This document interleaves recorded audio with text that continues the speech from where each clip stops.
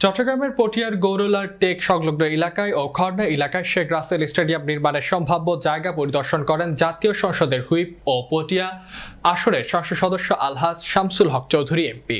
এর আগে উপজেলা হুইদাগাঁওয়ে স্টেডিয়ামের জন্য সম্ভাব্য আরও একটি জায়গা পরিদর্শন করেন এ সময় তিনি বলেন, পটিয়ায় শেখ রাসেল স্টেডিয়াম নির্মাণের জন্য ইতোমধ্যে কয়েকটি সম্ভাব্য জায়গা দেখা হয়েছে।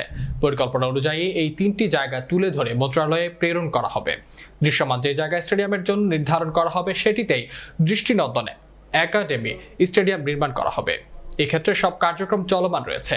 এসব উপস্থিত ছিলেন পটিয়া উপজেলা পরিষদের চেয়ারম্যান মোতাহিরুল ইসলাম চৌধুরী, উপজেলা আওয়ামী লীগের সভাপতি বীর মুক্তিযোদ্ধা আকম শামসুজ্জামান চৌধুরী, হুইপের সহকারী একান্ত সচিব হাবিবুল হক চৌধুরী, সহকারী কমিশনার ভূমি ইনামুল হক, উপজেলা আওয়ামী লীগ নেতা আবু সালেহ চৌধুরী, আলমগীর খালেদ, শাহেদুল উদ্দিন ছুমন, উপজেলা যুবলীগের আহ্বায়ক কমিটির সদস্য মোহাম্মদ মহিউদ্দিন, ছাত্রলীগের নয়ন শর্মা, আনিসুর রহমান সহ আরও অনেকে।